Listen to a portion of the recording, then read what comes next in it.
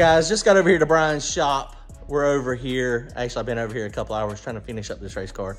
Brantley's here, Harper's here. Brian's actually under the weather today. On that one, we got to fix the cold side. He's got almost everything done. But since it's Wednesday night, I've got to get this thing welded because I'm planning on leaving to go to No Prep Kings on Thursday. It's not Wednesday night. It's Tuesday night. It's it's a night during the week. I'm very tired, but we're making some progress. Let me show you what we've done on mine. It's coming around. Uh, it's looking pretty good. This is the best looking turbo kit I have ever done. So very, very, very, very happy. Comment, like, and subscribe. We'll see y'all at No Prep Kings in a few days. Don't forget to go to turbojohnracing.com grab yourself some merchandise. Thanks, guys. All right, guys, so picking up from where we left off last night, I'm sorry to give y'all so many videos on, I mean, it, I mean, it doesn't feel like we're making much progress, but we are. We're making progress. We got this dump tube done. Uh, that turned out okay. It wasn't the best, but what I'm gonna do with this is it's gonna mount right here. These Black Sheep Industry wastegates are freaking awesome. it's just gonna dump. I, I wanted it to dump kind of away from the tire, of course, so that's gonna be good there. This other one, I just got through welding this one up.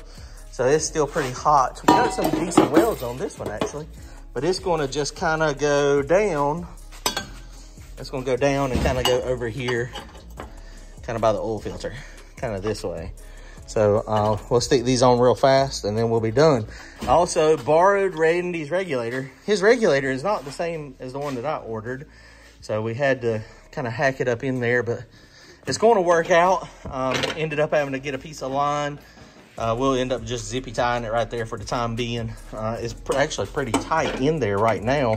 So with a couple of zippy ties, this thing is not going anywhere. Nice and tight, got fuel pressure sensor in it. Uh, got the, uh, yeah, it's gonna be interesting. It would not work to go the way I wanted it to, the way my other one fit over here. Now the one I ordered, it was Aeromotive. Uh, Amazon kind of got me. Uh, it was supposed to be here tomorrow and it said uh, delivery on Wednesday and I ordered it and then yesterday they changed it and said delivery on Friday.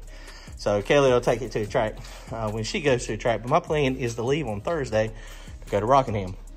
So these are done. So Brantley just jacked up the car. We're gonna throw some jack stands under it real fast.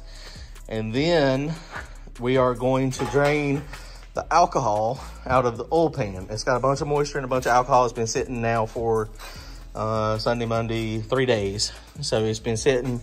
So it should, the good thing about this Brad Penn is it separates really, really good. So um, we're gonna crank this thing in just a few minutes, hopefully in the next few hours. Uh, hopefully we'll be pretty close. So I'm gonna do that. I uh, still gotta put the diaper on it, so I'll go ahead and put the diaper on it while we're under there today. And then the only thing that's left at that point is to figure out how we're gonna mount this. Uh, I brought some, some bigger tubing. So I think what I'm gonna do is take the downpipe off. Well, that's kind of in the way there. I might need to do it from this side. Or I, have got enough room, I think. We'll take this right here and uh, go up in just like an L and weld a bracket right here somehow to this to make it so that it can give the turbo some support. Um, you know, I guess another thing I could do, I could come off of here and square it in and just let the turbo kind of sit on a bar. Because, uh, I mean, it's going to go down. Uh, we're going to think about that. We may do that. That would be probably the most rigid, uh, although it would be further out here. Uh, we'll figure it out. We might come up this way. I might come up across the downpipe and then go off and then have a something there. All right, here we go. All right, guys, the wastegate tubes are on. Let's see how those kind of points down, kind of points in a little bit to get it away from the tires. This one kind of points over and back. It does point just under that. It's kind of hard to tell the way it actually points here, but that should be pretty close. They're about the same height. This one's a little bit further down, but I mean, it's way, it's good. So, okay, now we're gonna drain the methanol and condensation out of the oil. Uh, we did on that one, we we made two, three, three passes, a couple spool ups, and then when we had it running out here, when it dumped all the methanol. And I think somebody had mentioned, and I think they're right, uh, when that in in when that fuel pressure regulator failed, uh, I I do think it probably gained some fuel pressure, but I think the main leak, y'all could the main leak y'all can see how much fuel this thing's returning when the diaphragm ruptured and this was hooked to here. That's hooked to right there. So if you look at the angle of that one, it would have been basically blowing right in that back cylinder. And that's the one that was cold. That's the one I thought was the one that was sticking. And that's also when we had the downpipe, that's the one that we, you know, the or the open, it was coming out of this side over here. Okay, let's drain the oil real fast. How much methanol we got? About there. Okay. So that's like two quarts out.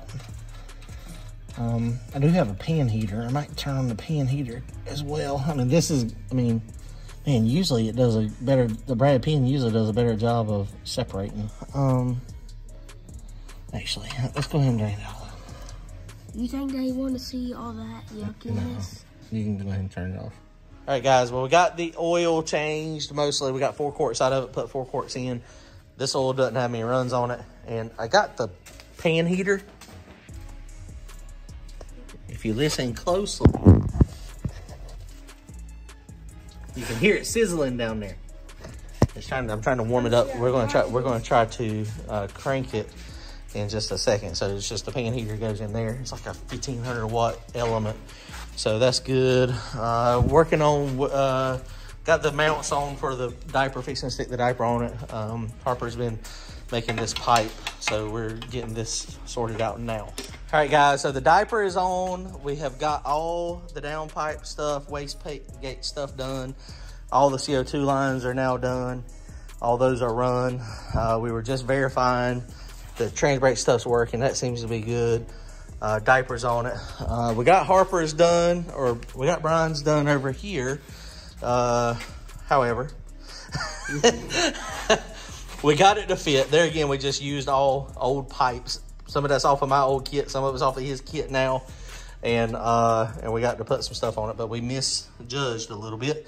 We had it to where we thought it was going to connect like right there and these um, clamps give you some adjustability, but there's just, it's just a little too, it's a little too far gap right here, not much. So we got actually two options. We can either straighten this up, turn it this way, cut a little piece of pipe to go in here to extend it back out where it needs to go. That's like perfect right there. Or we can slide it down this way and get it to touch. And what we'll have to do is we can come on here and cut, honestly, probably the just a little pie cut out of this little section right here and then weld it back together and then this will go in enough to be good enough, I think. But uh, we're going to do that for tomorrow. So time being, uh, this thing's ready to try to start. I'm going to go get the laptop real fast and uh, we're going to try to start it, see what happens. All right, guys, so here we go. We're going to try to crank this thing real fast. It is a brake clean baby. Um, let's squirt some actually in right here. Give me like three seconds in there. Yep.